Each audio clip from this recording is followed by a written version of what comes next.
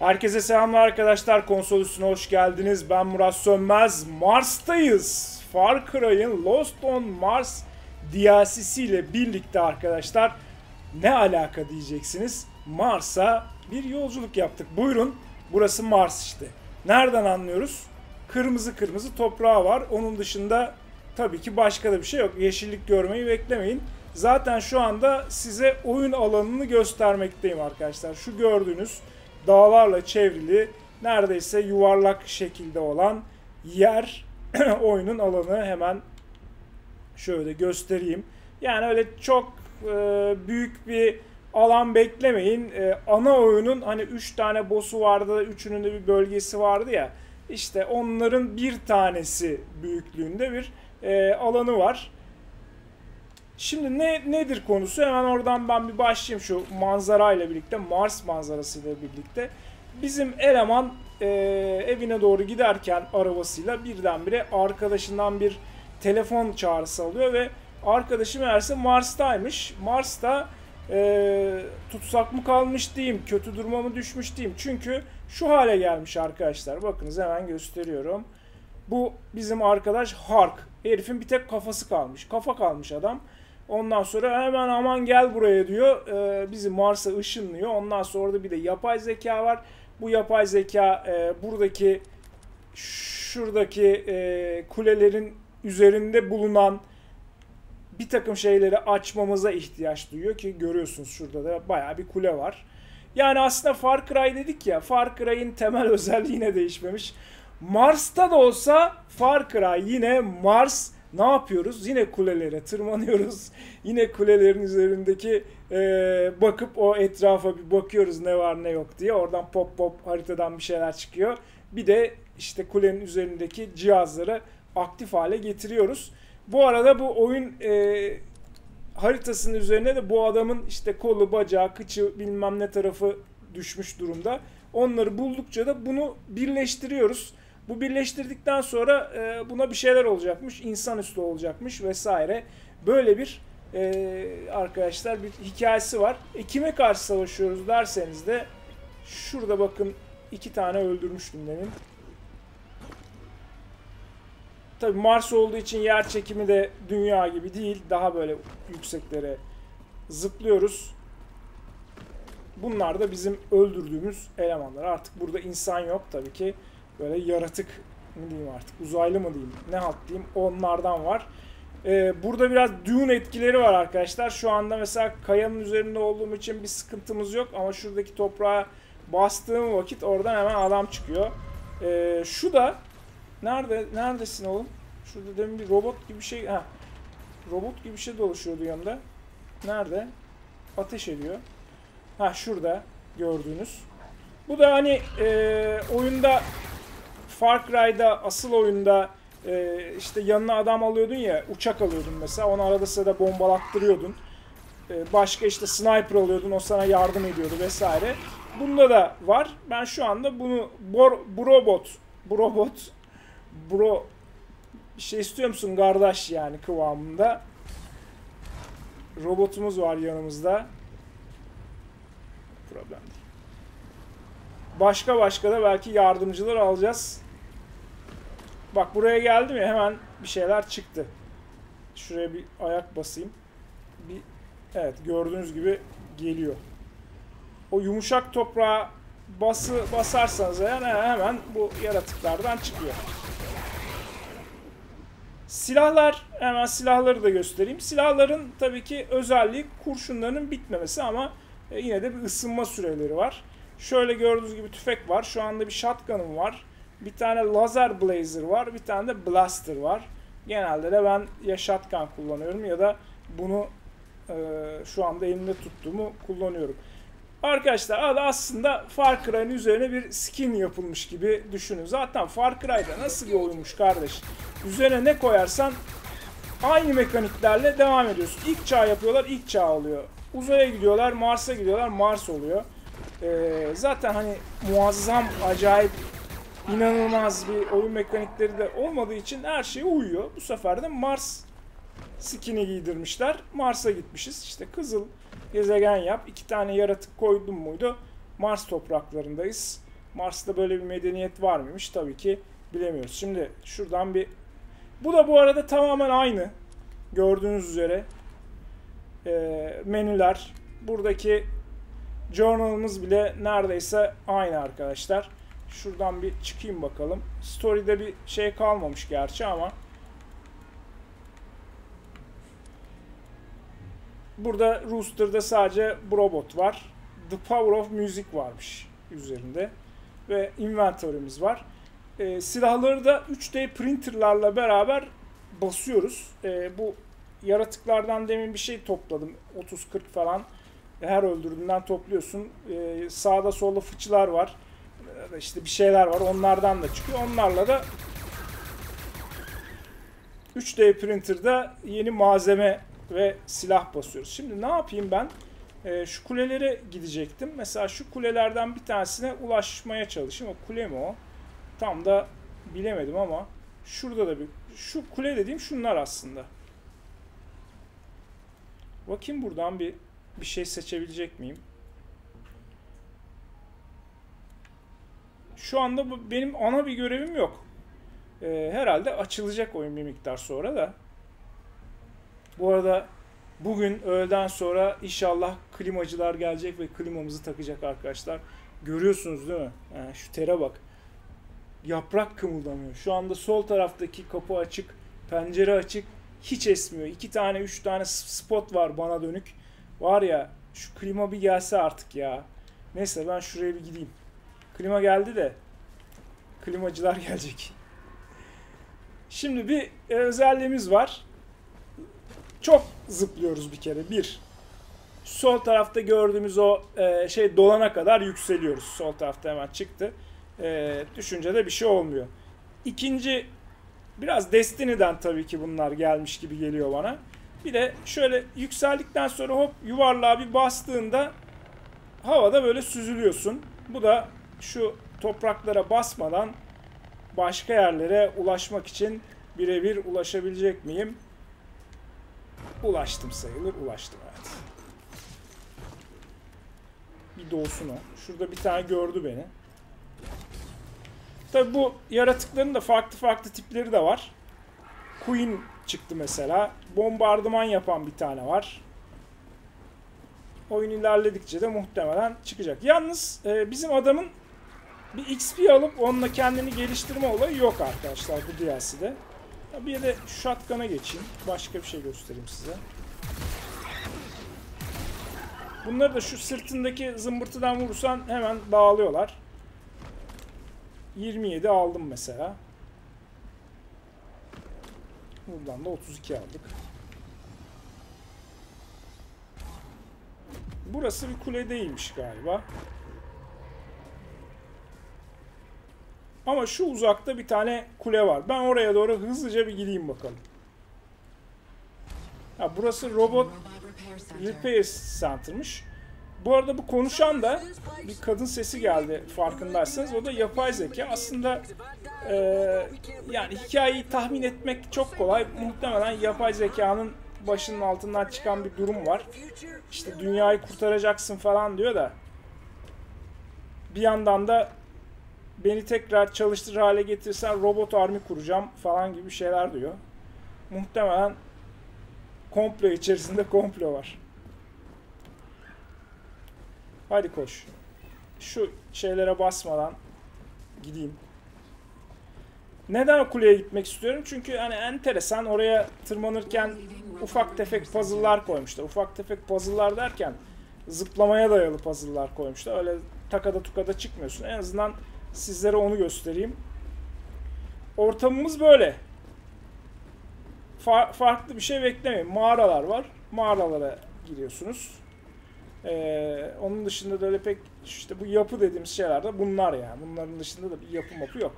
Biraz tabii ki tek düze bir tasarım var ama sonuçta bu da bir DLC yani. Ne bekleyeceksin?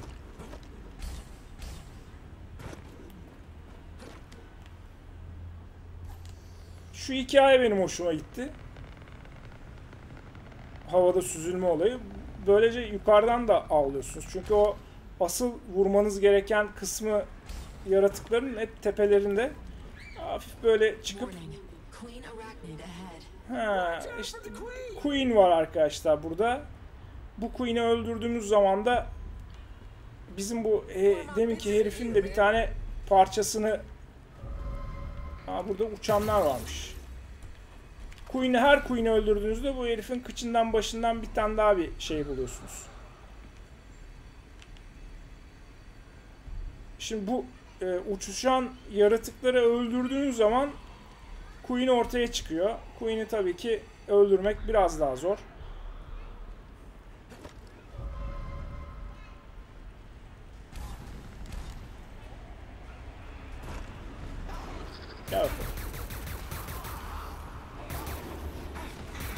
Queen'i bir ortaya bir çıkaralım.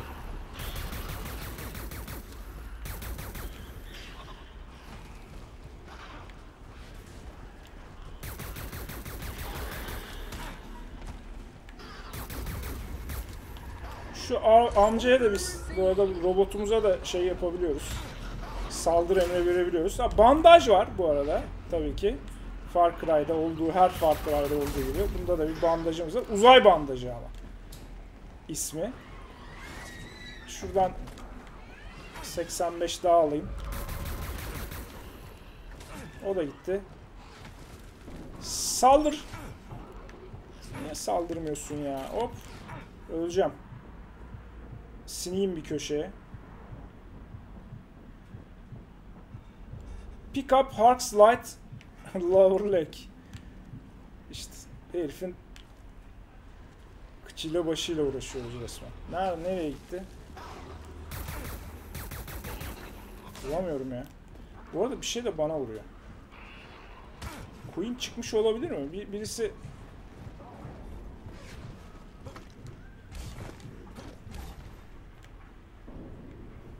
ileriden bir yerden ateş ediyor. Bizim o herife de kal gelmiş bu arada. Öyle duruyor orada. Niye öyle duruyor? Bakayım bir orada bir şey mi var?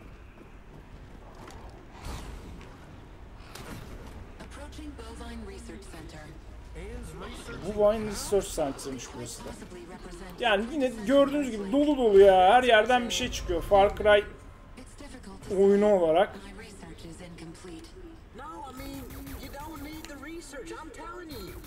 Bir de devamlı konuşuyorlar. Ulan vuramadık ya.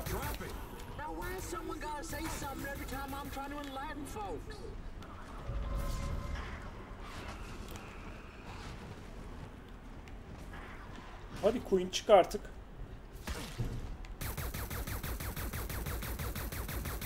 Acaba tepeye mi tırmanmam lazım? Bunun tepesine tırmanabilir miyim? Aslında tırmanabilirim gibi gözüküyor. Böyle böyle uzaklara gayet güzel gidebiliyorsunuz. New Energy Core Location Revealed olmuş. Tamam peki. Bunda şu anda işim yok benim. Tamam me. bu da gitti.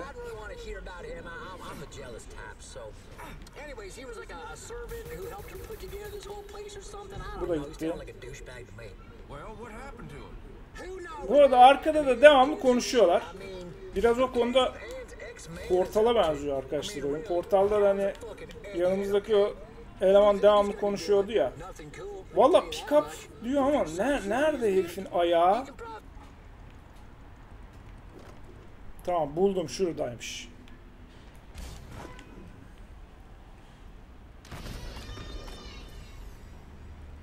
Evet herifin ayağını bulduk.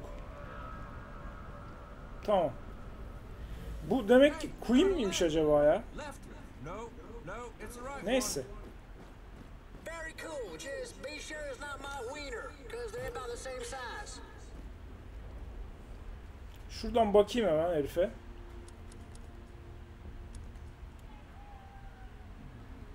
Evet şu ayağı bulduk. Şunu bulduk galiba. Right lower leg'i bulduk. Bacağın bir kısmını bulduk. Bir de şuraya tırmanacağım arkadaşlar. Olayımız bu aslında. Şurada da bir dünya adam var.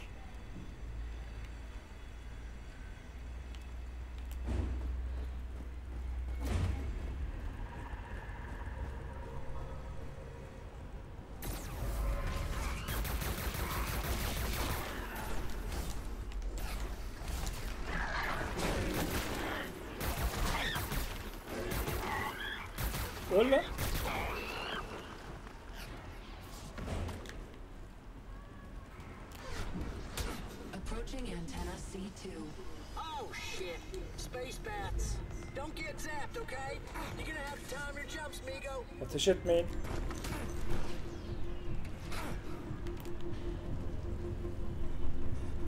Ku Cop Blocker diye bir şey varmış. Kullanalım bakalım. Şimdi bunun tepesine nasıl tırmanacağız?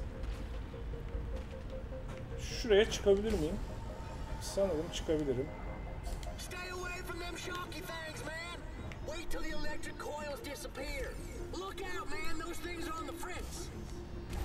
Disappear. Çık. Evet. Hala ateş ediyorlar. Kim ateş ediyor? Kuşlar var herhalde burada.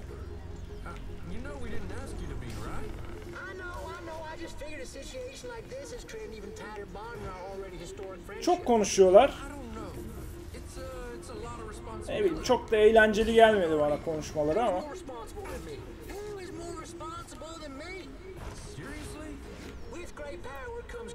Which in Şuranın tepesine çıkmam lazım. En tepeye çıkmam lazım.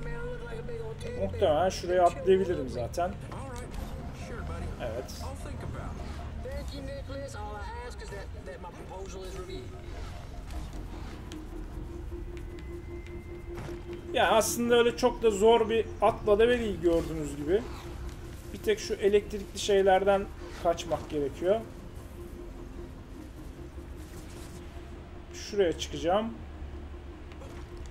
Şurada sandıklar var aslında. Sandıkları da es geçmemek lazım da. O zımbırtı bana vuruyor. Oradan kaçmak gerekiyor.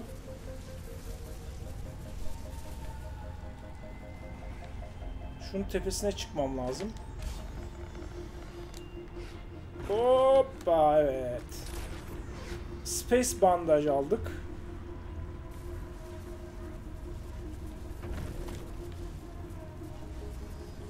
Konuşmaları dinlese miydim acaba? Reboot terminal. Daha var mı tepede yer? Varmış. Biraz daha çıkmam lazım. Hop hadi. Tamam. Şuraya bir şurada bir dur. Tamam.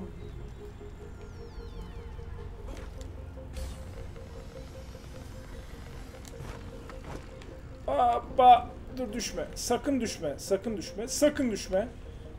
Hah çıkmışım zaten. Tamam. Şimdi bunu eee, koru yaptık. Koru yapınca burası açıldı. Oradaki teleport da açıldı. Artık hızlı yolculuk da var buraya.